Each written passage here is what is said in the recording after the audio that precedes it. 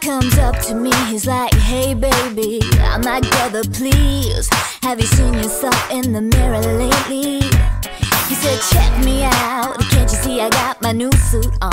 I looked him up and down, he said, what's wrong? Uh, didn't catch on. You're just a sleazy mother stepping in the wrong neighborhood. Now turn around.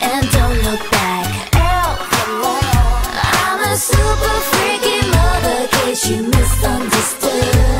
I'm crazy so can't handle it. Better get up, better get out.